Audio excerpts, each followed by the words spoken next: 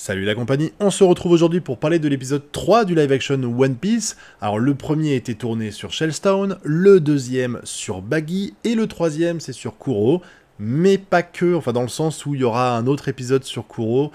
J'avoue personnellement que si j'avais dû m'occuper du découpage de la série, j'aurais peut-être plus pris deux épisodes pour parler de Baggy ou d'Arlong un peu plus, parce que au final, Kuro, c'est quand même un mec, enfin, je sais pas ce que vous en pensez, mais pour moi, c'est vraiment un Osef, quoi, complètement. Donc, avoir deux épisodes qui lui sont consacrés, voilà, j'aurais préféré qu'on s'attarde un petit peu plus sur Baggy. Mais bon, ça, c'est un détail. Au final, euh, on sent pas le truc rocher, on sent pas non plus le truc qui traîne trop en longueur, et puis il y avait quand même besoin d'expliquer un petit peu toute la situation dans laquelle les personnages sont et comment évoluer d'un point A à un point B, faut quand même le faire sans non plus qu'on ait l'impression que ça a été rushé. C'est surtout ce que je me suis plaint de ça euh, dans l'épisode 2, donc je suis quand même content que ce soit pas le cas ici. Et on va découvrir le personnage d'Usopp. J'aime beaucoup son intronisation avec euh, Luffy qui voit le fameux, euh, le, fameux vaisseau, enfin le fameux bateau qu'il veut, et puis il croit que c'est le bateau qui lui parle parce que l'autre est en train de...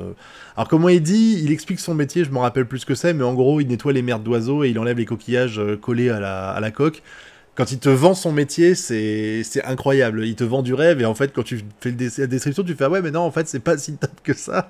C'était rigolo de voir ça. J'aime beaucoup aussi la naïveté grandissante de Luffy. Enfin, grandissante, non, il est toujours aussi naïf qu'avant, mais ça fait vraiment contraste avec Nami et Zoro. Nami qui explique qu'il n'aura jamais un bateau parce qu'il faudra payer tout ça. Et lui qui dit Mais je vais parler à la propriétaire et je suis sûr et certain qu'elle va accepter de me vendre son bateau.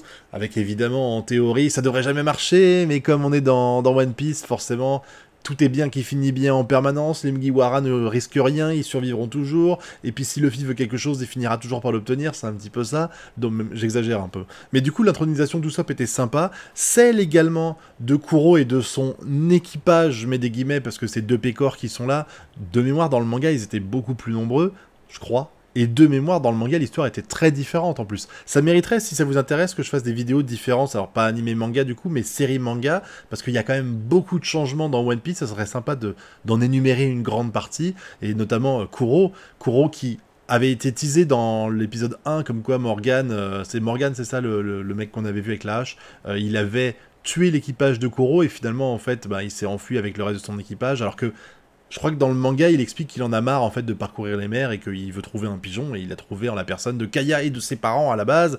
Kaya. Le casting de Kaya est incroyablement réussi.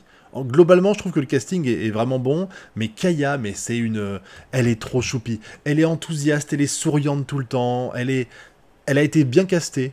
Elle a très bien joué, elle est ultra mimi. Moi j'ai adoré euh, la voir, franchement c'était super cool. Et puis le personnage d'Usopp aussi, même si je gueule, enfin je gueule, même si je me plains un peu que son nez, euh, voilà, il n'est pas respecté, même si je voulais pas un nez comme As, mais je voulais au moins qu'il y ait une distinction nasale avec lui un tout petit peu, tu vois, histoire de pas non plus tout truander. C'est comme Zoro. Zoro, il a les cheveux verts fluo, c'est complètement incohérent. T'aurais personne dans avec les cheveux verts fluo. Du coup, ils lui ont fait un vert un peu plus sombre. Bah voilà, c'est un compromis entre faire quelque chose de réaliste et faire quelque chose de surréaliste que je trouvais plutôt bien amené. Et je me suis dit qu'il pourrait peut-être faire la même chose pour Usopp, c'est pas le cas. Mais le personnage est bien joué. Je regarde en français et je trouve que le doublage français est très bon aussi.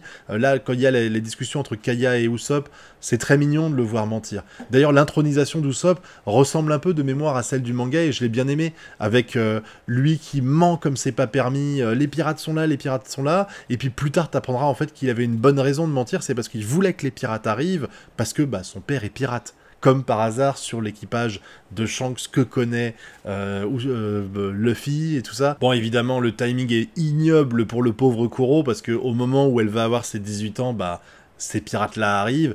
Kuro qui joue très bien son rôle, j'ai bien aimé. Alors, de mémoire, il faisait aussi ça, comme ça, le, petit geste de la main là pour, euh, pour remettre ses lunettes, il fait le même, ou comme ça. Je sais plus comment il le fait. C'est exactement le même geste. Après, c'était caractéristique de ce personnage-là. Et je trouve juste que en fait, j'ai du mal à comprendre comment il peut perdre le, combat au final, mais ça on verra parce que je me rappelle plus là. J'ai vu l'épisode, mais je l'ai pas encore revu pour les reviews. J'attendrai de revoir pour en parler. Mais son pouvoir qui lui permet d'aller super vite et tout ça, mais il aurait pu tellement euh, voler plein de trucs partout plutôt que se faire chier à attendre des années pour récupérer la fortune de cette nana là. Mais bon, ça c'est un détail. J'ai beaucoup aimé l'ambiance dans la maison. Vraiment, tu sens. En plus, il y, a la petite blague parce que vous savez, Zoro se perd tout le temps et dans le justement dans ce passage-là, Zoro il est pas là au début du fight parce qu'il passe sa vie à se perdre dans la forêt ou sur l'île quoi. Là, il se perd entre guillemets dans la maison. C'était un joli clin d'œil. J'ai trouvé que c'était un joli clin d'œil. Par contre, euh, ils sont pas censés être tous empoisonnés. Parce que c'est dit à un moment donné, genre, oh, touche pas, il y a du poison dedans. Ils ont l'air quand même en sacré bon état, Nami, Zoro et, Luffy, après tout ça. Est-ce qu'il y a du poison que dans la soupe que prend Kaya Je crois pas, c'est pas indiqué comme ça. Et pourtant, bah, ils ont l'air en parfaite santé. Hein. Bon, par contre, on va quand même parler deux secondes des facilités scénaristiques. En plus de ce fameux poison, je veux dire, il bute un gars dans la cave, euh, enfin même pas dans la cave, c'est juste dans un chemin normal où il passe, peut-être pas l'entrée principale, mais dans le chemin secondaire, bah il y a pas un moment donné où ils se disent que ce serait peut-être une bonne idée de le mettre ailleurs plutôt que de le laisser en plein milieu du passage comme ça. Euh, il croit avoir tué Zoro, du coup il le balance dans le puits avec ses sabres. À quel moment euh, c'est une bonne idée? Parce que regarde, qu'est-ce qu'ils ont fait Luffy et compagnie la première fois qu'ils sont venus? La toute première chose qu'ils ont fait quand ils sont arrivés dans le, dans le, dans le, dans le manoir, on va dire, c'est regarder dans le puits. Et je suis sûr que c'est pas les premiers à le faire. Moi, je suis sûr que si j'avais un puits comme ça, je regarderais au fond. Donc, si t'as un mec qui passe YOLO et qui voit un cadavre dans le puits, oh, ils ont même pas vérifié qu'il était mort, encore une fois. Chapeau, les gars. Mais derrière ça, tu le mets pas là, quoi, c'est complètement débile. Après, ça permet de montrer un peu l'histoire. Ça m'a rappelé Batman quand on essaye, je crois que c'est dans le dernier film où il de, Nolan, où il essaie de sortir de, du trou et où il, se rappelle de ses souvenirs et tout ça. Là, Zoro, c'est ça, t'as toute l'abnégation euh, d'essayer de s'en sortir de la situation où, où on a tout le flashback sur son histoire qui était intéressant. On l'a peut-être pas là, c'est peut-être moi qui est en train d'abuser. Non, on l'a pas encore. on l'aura au prochain épisode, j'en parlerai plus. Là, on était surtout sur le flashback d'Usopp, pardon. Autant pour moi, euh, je prends un petit peu d'avance. Mais en tout cas, je trouvais que c'était complètement con de faire ça. Du coup, le casting des nouveaux personnages qu'on a ici, Usopp, c'est validé malgré tout, comme je l'ai dit. Euh, Kuro, je l'aime bien aussi. Bon, les deux autres, euh, là, ils sont un peu aux F tiers, hein, soyons clairs. Bon, Kaya, magnifique, magnifique, je l'adore, hein, je l'ai déjà dit, voilà. Et puis j'ai bien aimé aussi la relation qui, se, qui est en train de se créer entre les différents protagonistes. Nami et Zoro tu sens quand même qu'il y a quelque chose qui est en train de se faire entre eux. Bon, il trash talk complètement Usopp là, ça va peut-être s'arranger avec la suite, ça me paraît évident.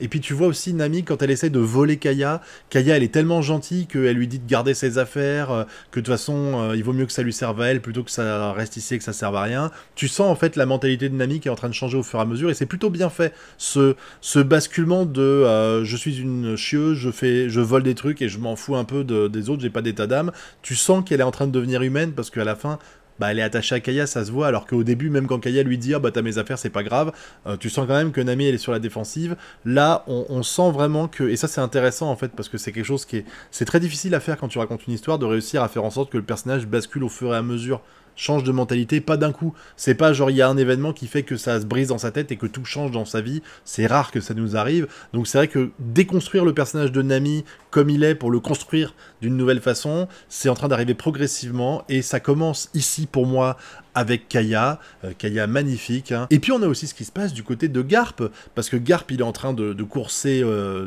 Luffy, on sait pas encore les liens qu'ils ont.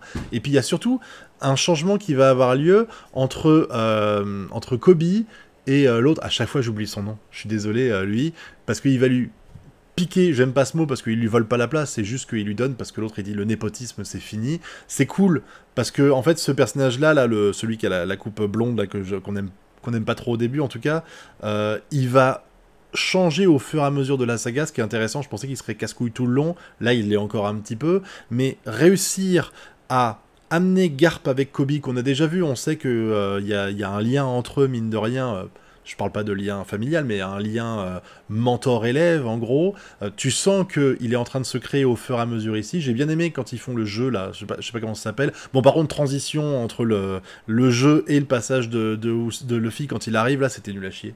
Cette transition-là était abominable. C'est sans doute une des pires transitions que j'ai vues de ma vie dans, les, des séries un peu triple A, si je puis dire. Là, c'était foireux complètement.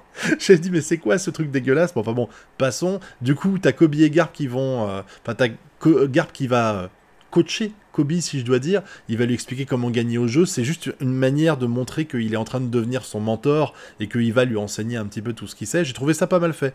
J'ai trouvé ça pas mal fait, avec à la fin la façon dont ils ont relié euh, la marine avec ce qui se passe du côté de, euh, de, de, de, Luffy et tout ça, puisque ils, enquêtent, ils continuent d'enquêter et leur enquête les mène sur l'île dans laquelle est actuellement Luffy. Et du coup, ils ont euh, ils arrivent sur place, et je me rappelle pas que c'était comme ça dans le manga, je crois pas que ça l'est. J'ai pas souvenir que c'est à ce moment-là qu'ils se croisent, mais du coup, on finit l'épisode de mémoire avec Kobe qui croise Usopp, Usopp qui désespère de se balader en ville parce que personne le croit au sujet du fait qu'il y a des pirates dans le coin, et euh, eux, bah, ils disent, bah moi je te crois. Parce que lui, il sait, il cherche des pirates, donc ça lui paraît logique qu'il y en a, sauf que là, il y a petit souci il parle pas des mêmes pirates, parce que lui, il a peur de Kuro et tout ça, alors que lui, il parle de Kobe, il parle lui de, il, cherche euh, Luffy et compagnie. Donc c'est, j'ai bien aimé. Voilà, tout a été amené de façon assez intelligente dans cet épisode-là. J'ai pas senti un rush comme ça a été le cas dans l'épisode précédent. Dommage d'ailleurs, encore une fois, j'aurais préféré qu'on rush un peu plus Kuro. Il y a quand même des choses, je vous dis, facilité scénaristique, un Zoro qui survit, le poison qui tue personne au final, euh, les mauvais choix de Kuro qui bute un mec en plein milieu d'une entrée et puis qui décide de le laisser là parce que, bah ouais, personne pourrait passer. Bon, euh, le, Zoro qu'on lâche dans le puits, euh, même quand il laisse partir Usopp, ils sont convaincus que personne croira Usopp c'est quand même un putain de risque, quoi. Surtout que Kuro, t'as vu la vitesse à laquelle il se déplace, le mec il claque des doigts, il rattrape Usopp et il le tue, quoi. Donc c'est, des fois il y a des choix comme ça où tu te dis vraiment c'est bah, parce que ta gueule c'est magique ou parce que scénario obligé. Mais en dehors de ça, je trouve que cet épisode-là était bien construit, belle ambiance, les personnages qui commencent au fur et à mesure à s'étoffer et à créer du, de, des relations entre eux. Et puis Zoro euh, la petite anecdote à Zoro qui se perd dans le manoir, euh, qui permet de faire le lien avec euh, One Piece sans forcément faire du lourd comme One Piece, que dans le manga c'est super lourd. il se perd, le mec, tu lui demandes de faire 3 mètres et il arrive à faire 20 mètres dans l'autre sens, c'est complètement débile. Non, je trouvais que ça c'était bien fait. Vraiment, bel épisode 3. Bel épisode 3.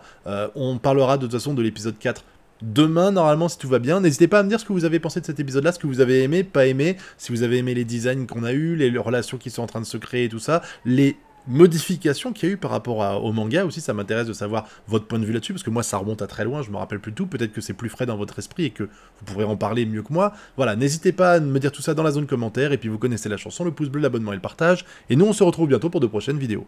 Tchuss